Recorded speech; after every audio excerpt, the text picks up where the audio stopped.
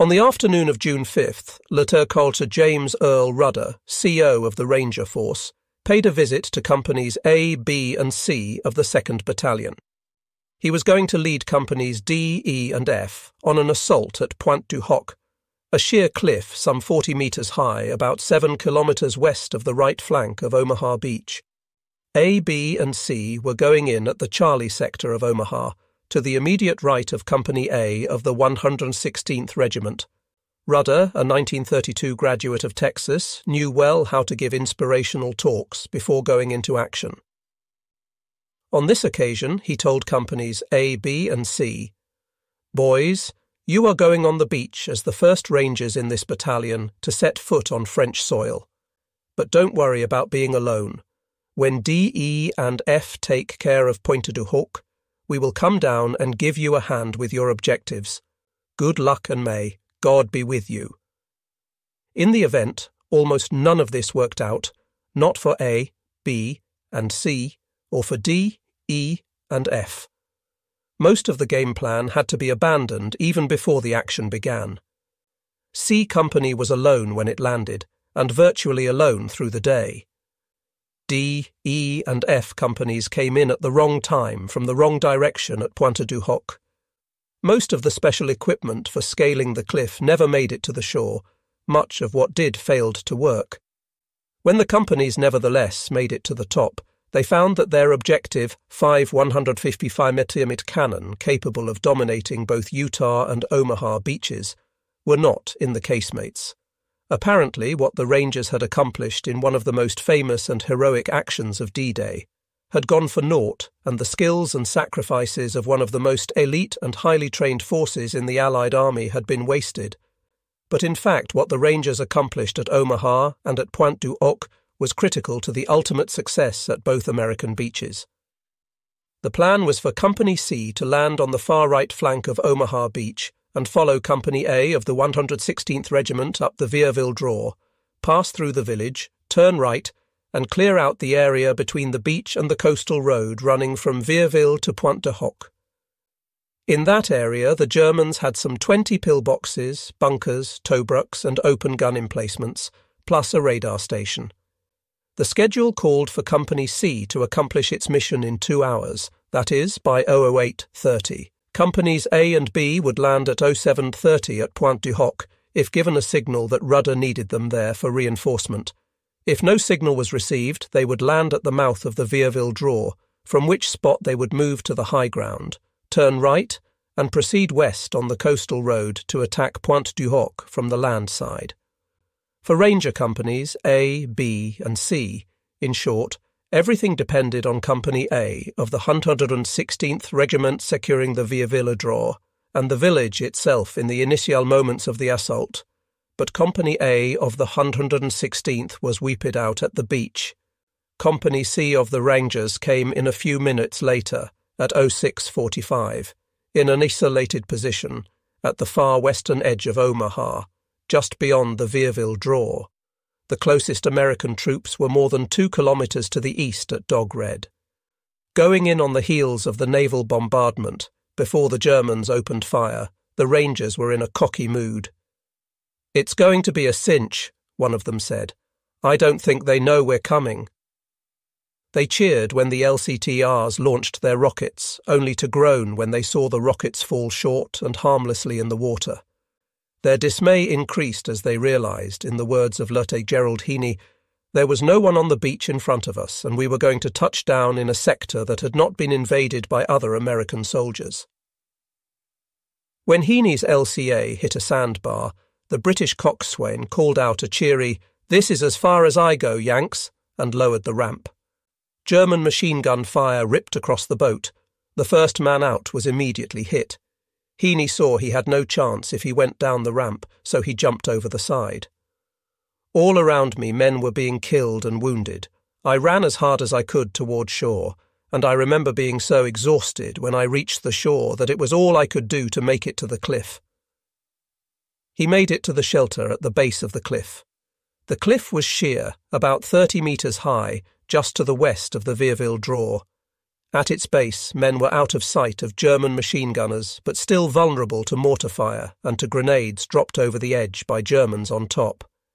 They were concussion grenades, universally called potato mashers by the GIs because of their shape. Sergeant Scribner's boat was hit three times by artillery fire. The first shell tore the ramp completely off the boat, killing the men in front and covering the others with blood. The second hit the port side. Scribner started to climb over the rear starboard side when he noticed a 60mm mortar lying on the bottom of the craft. He stopped to pick it up when the third shell tore out the starboard side. Somehow he made it into the water. I was carrying a radio, my rifle, my grenades, my extra ammunition, my bedroll, all my gear, and I started sinking in the channel. I didn't think I was ever going to stop going down. Scribner made it to the shore, he cannot recall how, and tried to run across the beach. Lord Sidney Salomon, leading 2nd Platoon of C Company, was first off his boat. He went to the right into chest deep water, as automatic weapons and rifle fire sprayed the debarking Rangers. The second man off, Sergeant Oliver Reed, was hit. Salomon reached over and pulled him from under the ramp just as the craft surged forward on a wave.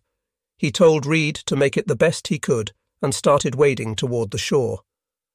By this time, the Germans had zeroed in on the ramp. Ranger after Ranger was hit by small arms fire as they jumped into the water, and in addition, mortar shells landed around the craft, making geysers of water. Salomon made the base of the cliff. He looked back.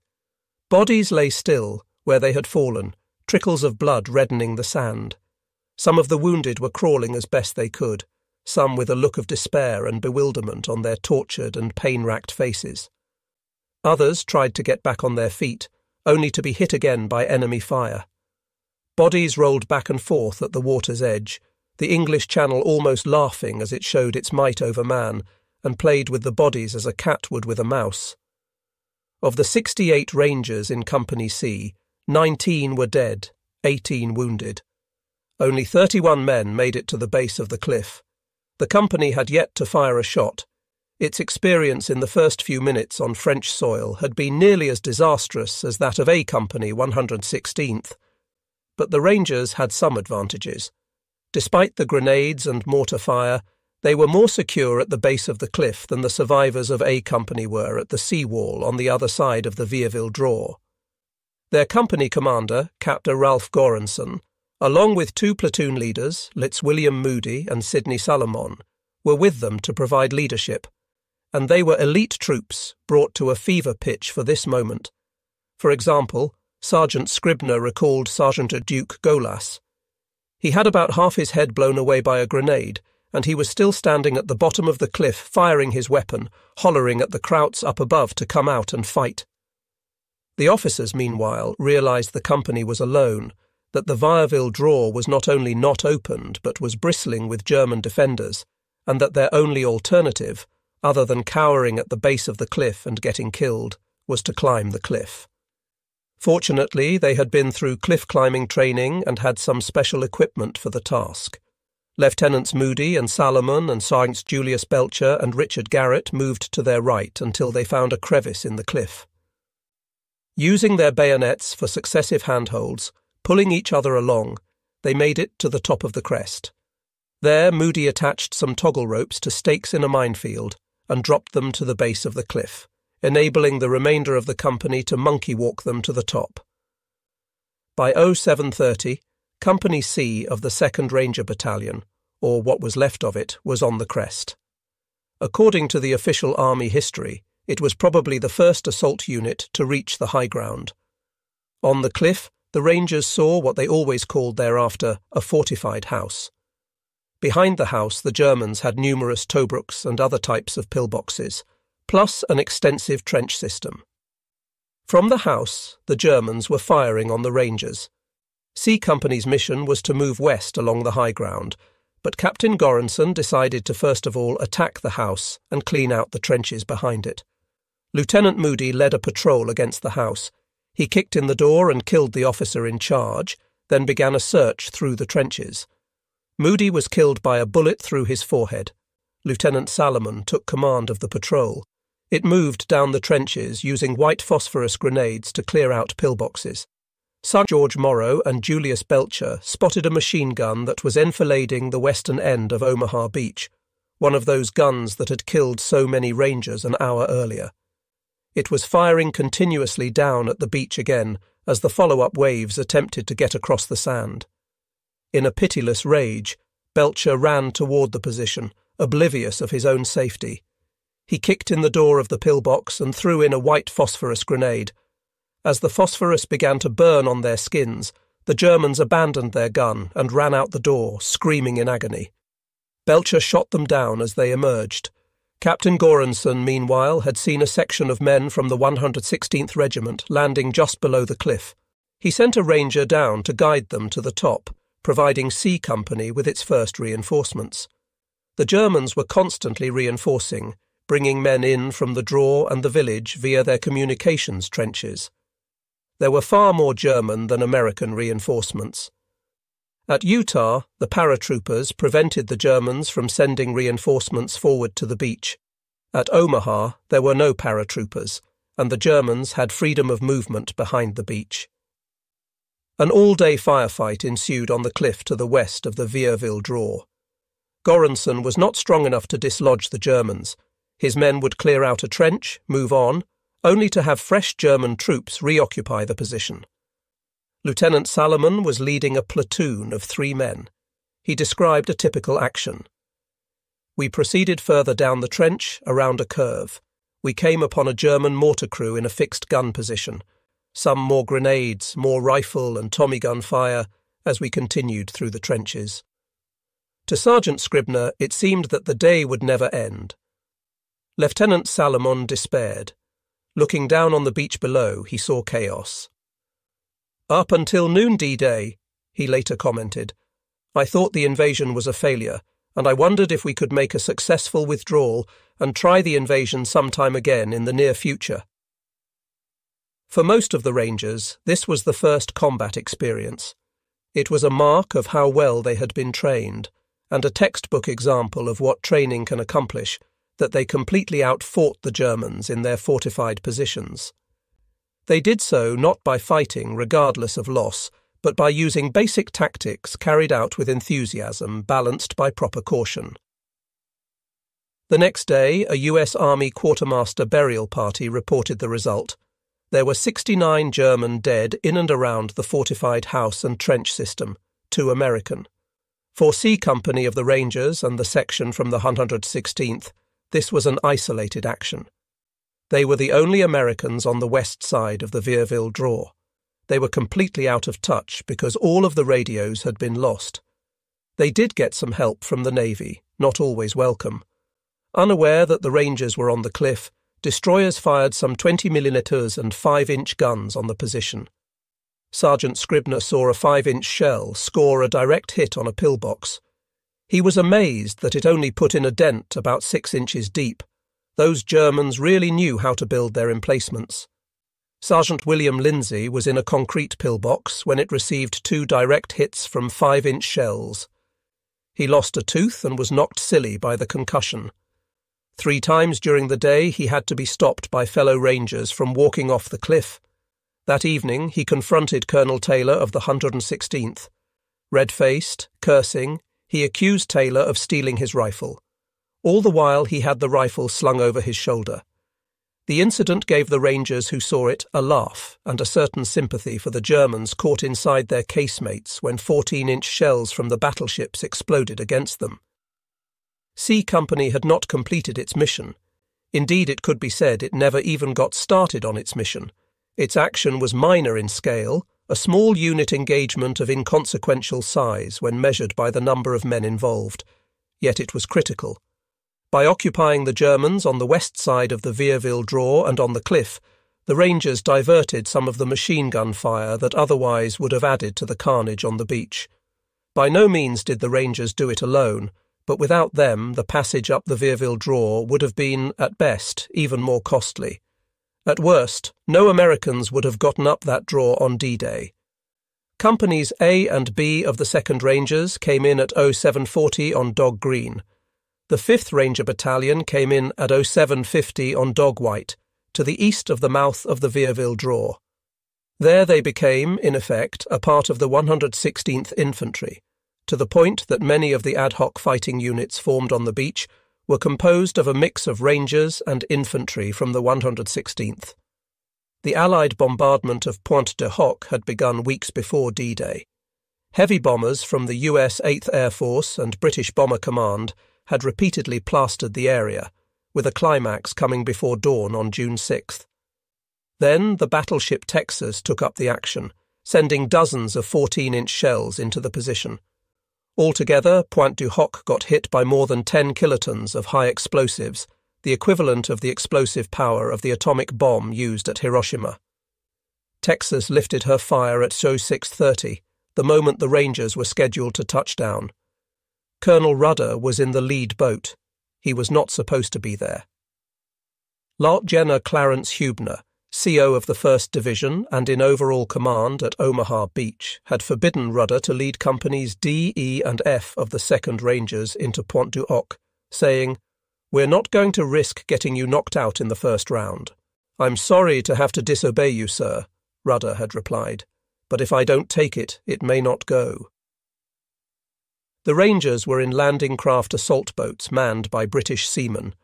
At 0630, as Rudder's lead LCA approached the beach, he saw with dismay that the coxswain was headed toward Pointe de la Percée, about halfway between the Vierville Draw and Pointe du Hoc.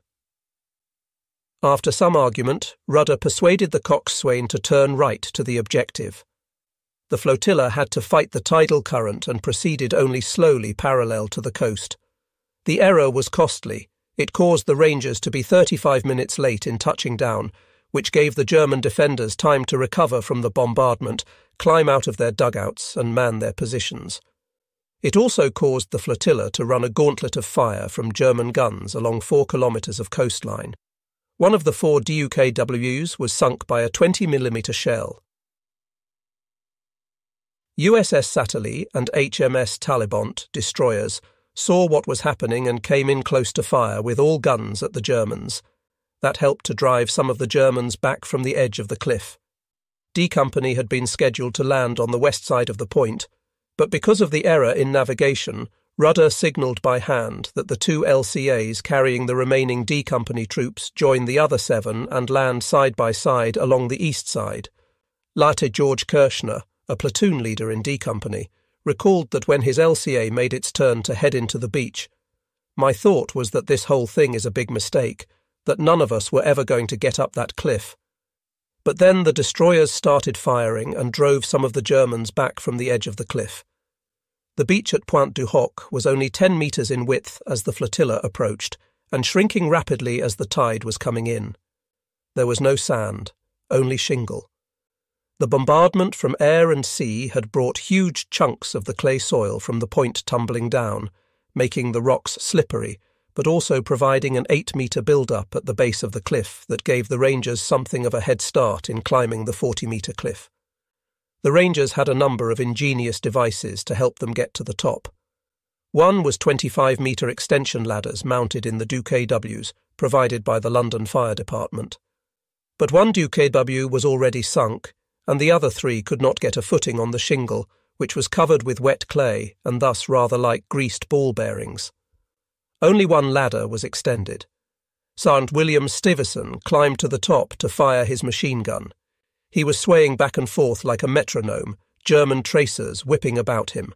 Letter Elmer, Dutch Vermeer, described the scene. The ladder was swaying at about a 45 degree angle, both ways. Stiverson would fire short bursts as he passed over the cliff at the top of the arch, but the Duke floundered so badly that they had to bring the fire ladder back down. The basic method of climbing was by rope.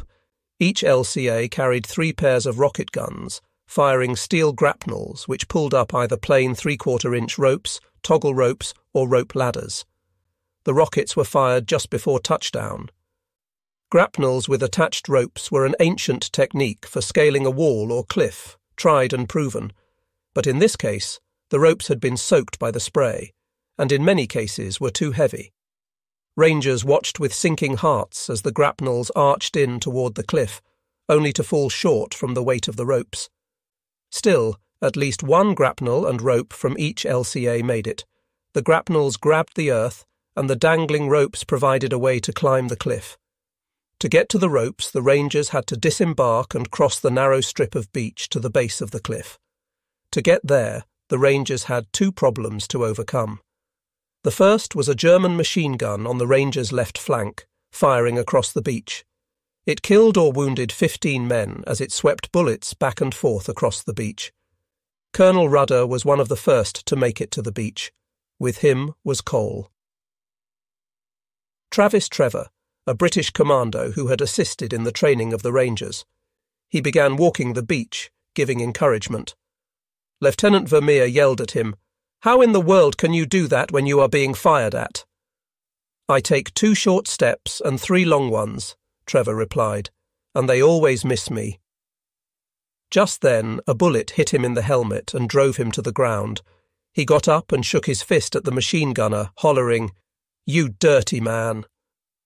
After that, Vermeer noted, he crawled around like the rest of us. The second problem for the disembarking rangers was craters, caused by bombs or shells that had fallen short of the cliff. They were under water and could not be seen. Getting off the ramp, Sergeant South recalled, my pack and I went into a bomb crater, and the world turned completely to water. He inflated his Mae West and made it to shore. Lieutenant Kerchner was determined to be first off his boat. He thought he was going into a metre or so of water as he hollered, OK, let's go, and jumped. He went in over his head, losing his rifle. He started to swim in, furious with the British coxswain. The men behind him saw what had happened and jumped to the sides. They hardly got their feet wet. So instead of being the first one ashore, I was one of the last ashore from my boat. Two of his men were hit by the machine gun enfilading the beach. Kerchner picked up a dead ranger's rifle. My first impulse was to go after this machine gun up there, but I immediately realized that this was rather stupid, as our mission was to get to the top of the cliff and get on with destroying those guns. It wasn't necessary to tell this man to do this or that man to do that. Kerchner said. They had been trained. They had the order in which they were supposed to climb the ropes, and the men were all moving right in and starting to climb up the cliff. Kerchner went down the beach to report to Colonel Rudder that the D Company commander's LCA had sunk. He told him to get the hell out of there and get up and climb his rope. Kerchner did as ordered. He found climbing the cliff very easy, much easier than some of the practice climbs back in England. The machine gun and the incoming tide gave Sergeant Gene Elder a certain urgency to get off the beach and up the cliff. He and his squad free climbed as they were unable to touch the cliff. When they reached the top, I told them, Boys, keep your heads down, because headquarters has fouled up again and has issued the enemy live ammunition. Other rangers had trouble getting up the cliff. I went up about, I don't know, forty, fifty feet Germans on the top managed to cut two or three of the ropes, while others tossed grenades over the cliff. But barmen at the base and machine gun fire from Satterlee kept most of them back from the edge. They had not anticipated an attack from the sea, so their defensive positions were inland. In addition, the Rangers had tied pieces of fuse to the grapnels and lit them just before firing the rockets. The burning fuses made the Germans think that the grapnels were some kind of weapon about to explode, which kept them away. Within five minutes, Rangers were at the top. Within fifteen minutes, most of the fighting men were up. As the tide was reducing the beach to almost nothing, and because the attack from the sea was proceeding, Colonel Rudder told Lieutenant Eikner to send the code message Tilt. That told the floating reserve of A and B companies, 2nd Rangers, and the 5th Ranger Battalion to land at Omaha Beach instead of Pointe du Hoc. Rudder expected them to pass through Vierville and attack Pointe du Hoc from the eastern, landward side. As I got over the top of the cliff, Lieutenant Kerchner recalled, it didn't look anything at all like what I thought it was going to look like. The Rangers had studied aerial photos and maps and sketches and sand table mock ups of the area but the bombardment from air and sea had created a moonscape. It was just one large shell crater after the other. Fifty years later, Pointe du Hoc remains an incredible, overwhelming sight. It is hardly possible to say which is more impressive the amount of reinforced concrete the Germans poured to build their casemates, or the damage done to them and the craters created by the bombs and shells. Huge chunks of concrete, as big as houses, are scattered over the kilometre square area, as if the gods were playing dice. Surprisingly, the massive concrete observation post at the edge of the cliff remains intact. It was the key to the whole battery. From it, one has a perfect view of both Utah and Omaha beaches.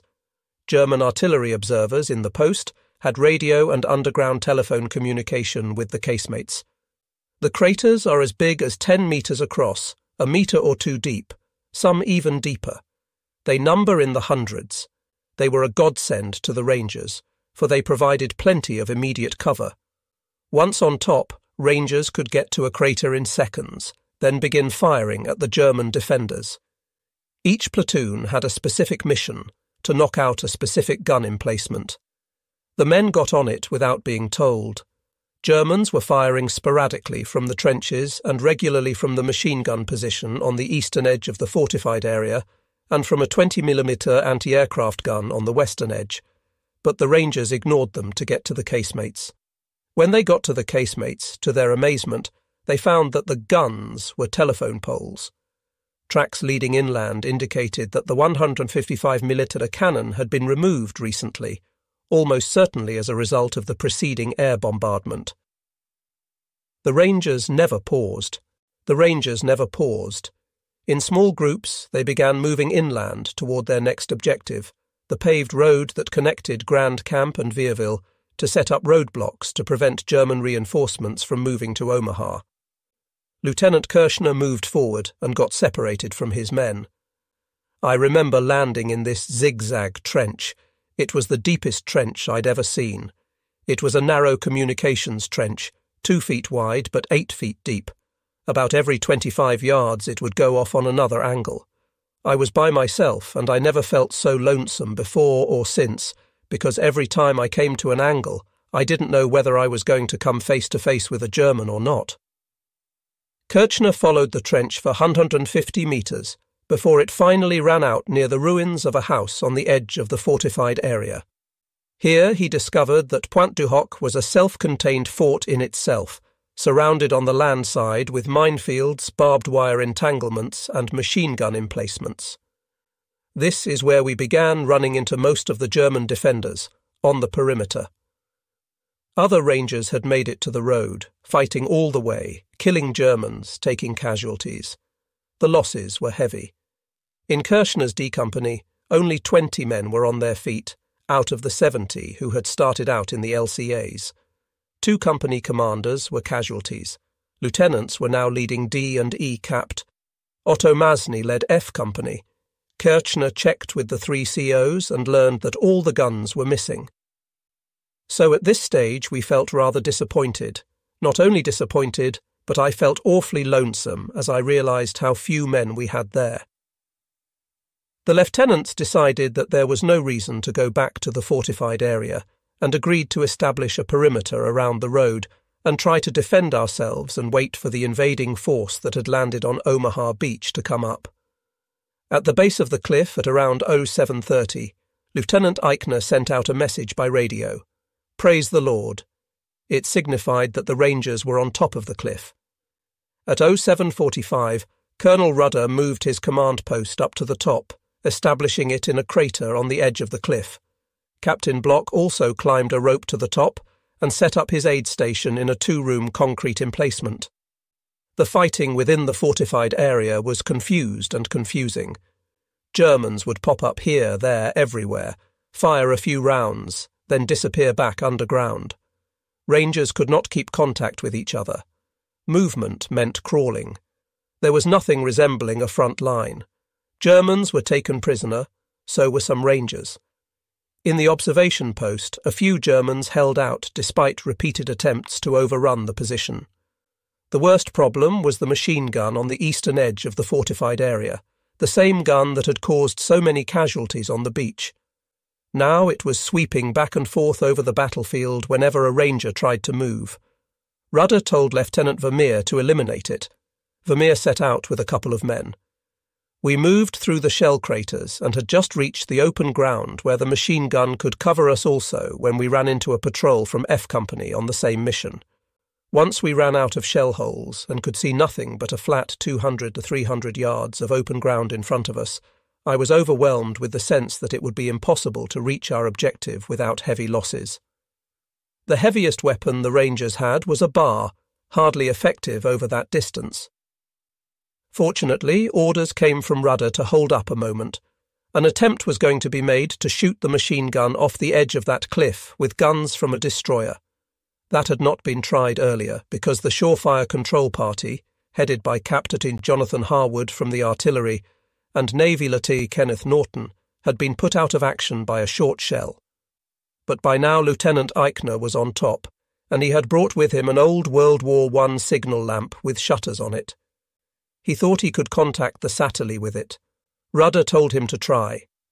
Eikner had trained his men in the International Morse code on the signal lamp.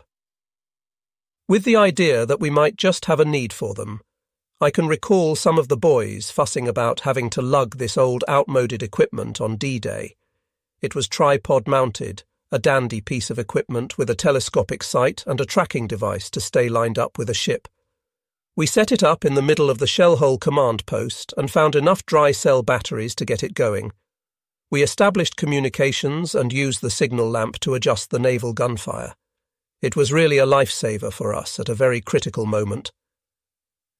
Satterlee banged away at the machine gun position. After a couple of adjustments, Satterlee's five inch guns blew it off the cliffside. Eikner then used the lamp to ask for help in evacuating wounded. A whaleboat came in but could not make it due to intense German fire. The Rangers were cut off from the sea. With the Vierville draw still firmly in German hands, they were getting no help from the land side. With the radios out of commission, they had no idea how the invasion elsewhere was going. The Rangers on Pointe du Hoc were isolated. They had taken about 50% casualties. A short shell from British cruiser Glasgow had hit next to Rudder's command post. It killed Captain Harwood, wounded Lieutenant Norton, and knocked Colonel Rudder off his feet. Lieutenant Vermeer was returning to the CP when the shell burst. What he saw, he never forgot. The hit turned the men completely yellow. It was as though they had been stricken with jaundice.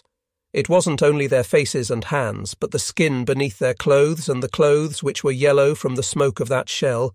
It was probably a coloured marker shell. Rudder recovered quickly. Angry, he went out hunting for snipers, only to get shot in the leg. Captain Block treated the wound. Thereafter, Rudder stayed in his CP, more or less, doing what he could to direct the battle. Vermeer remarked that the biggest thing that saved our day was seeing Colonel Rudder controlling the operation. It still makes me cringe to recall the pain he must have endured trying to operate with a wound through the leg and the concussive force he must have felt from the close hit by the yellow coloured shell. He was the strength of the whole operation. On his return trip in 1954, Rudder pointed to a buried blockhouse next to his CP. We got our first German prisoner right here, he told his son. He was a little freckle faced kid who looked like an American. I had a feeling there were more of them around, and I told the Rangers to lead this kid ahead of them.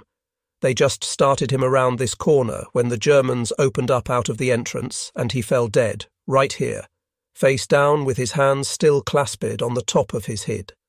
Out by the paved road, the fighting went on. It was close quarters, so close that when two Germans who had been hiding in a deep shelter hole jumped to their feet, rifles ready to fire, Sergeant Petty was right between them. Petty threw himself to the ground, firing his BAR as he did so, but the bullets went between the Germans, who were literally at his side. The experience so unnerved them they threw their rifles down, put their hands in the air, and called out, Kamerad! Kamerad! A buddy of Petty's who was behind him commented dryly, Hell, Elrod, that's a good way to save ammunition. Just scare 'em to death. The primary purpose of the Rangers was not to kill Germans or take prisoners, but to get those 150 mm cannon. The tracks leading out of the casemates and the effort the Germans were making to dislodge the Rangers indicated that they had to be around somewhere. By 0815, there were about 35 Rangers from Companies D and E at the perimeter roadblock. Within 15 minutes, another group of 12 from Company F joined up. Excellent soldiers, those Rangers. They immediately began patrolling. There was a dirt road leading south. It had heavy tracks. Chance Leonard Lomell and Jack Kuhn thought the missing guns might have made the tracks. They set out to investigate. At about 250 metres, one kilometre inland, Lomell abruptly stopped. He held his hand out to stop Kuhn, turned and half whispered, Jack, here they are. We've found 'em. Here are the goddamned guns. Unbelievably, the well camouflaged guns were set up in battery, ready to fire in the direction of Utah Beach, with piles of ammunition around them. But no Germans.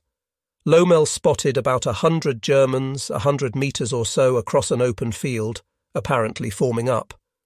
Evidently, they had pulled back during the bombardment for fear of a stray shell setting off the ammunition dump and were now preparing to man their guns, but they were in no hurry, for until their infantry drove off the Rangers and reoccupied the observation post, they could not fire with any accuracy. Lomell never hesitated. Give me your grenades, Jack, he said to Kuhn. Cover me. I'm going to fix them. He ran to the guns and set off thermite grenades in the recoil and traversing mechanisms of two of the guns, disabling them. He bashed in the sights of the third gun. Jack, we got to get some more thermite grenades. He and Kuhn ran back to the highway, collected all of the thermite grenades from the Rangers in the immediate area, returned to the battery, and disabled the other three guns. Meanwhile, Sergeant Frank Rupinski leading a patrol of his own, had discovered a huge ammunition dump some distance south of the battery. It too was unguarded. Using high explosive charges, the Rangers detonated it. A tremendous explosion occurred as the shells and powder charges blew up, showering rocks, sand, leaves, and debris on Lomell and Kuhn. Unaware of Rupinski's patrol, Lomell and Kuhn assumed that a stray shell had hit the ammo dump. They withdrew as quickly as they could and sent word back to Rudder by runner that the guns had been found and destroyed. And with that, the Rangers had completed their offensive mission. It was Euro 9, Cray. Just that quickly, they were now on the defensive, isolated, with nothing heavier than 60mm mortars and BARs to defend themselves. In the afternoon, Rudder had Eikner send a message via his signal lamp and homing pigeon via the Satterlee. Located Pointe du Hoc, Mission accomplished. Need ammunition and reinforcement. Many casualties. An hour later, Satterlee relayed a brief message from General Huebner. No reinforcements available. All Rangers have landed at Omaha. The only reinforcements Rudder's men received in the next 48 hours were three paratroopers from the 101st who had been misdropped and who somehow made it through German lines to join the Rangers, and two platoons of Rangers from Omaha. The first arrived at 21 South. It was a force of 23 men led by Lieutenant Charles Parker. On the afternoon of June 7th, Madge and Jack Street brought in a landing craft and took off wounded and prisoners. After putting them aboard an LST, he took the craft to Omaha Beach and rounded up about 20 men from the 5th Ranger Battalion and brought them to Pointe du Hoc. The Germans were as furious as disturbed hornets. They counterattacked the fortified area throughout the day again that night and through the next day.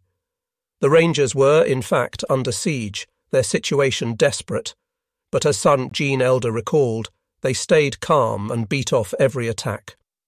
This was due to our rigorous training. We were ready.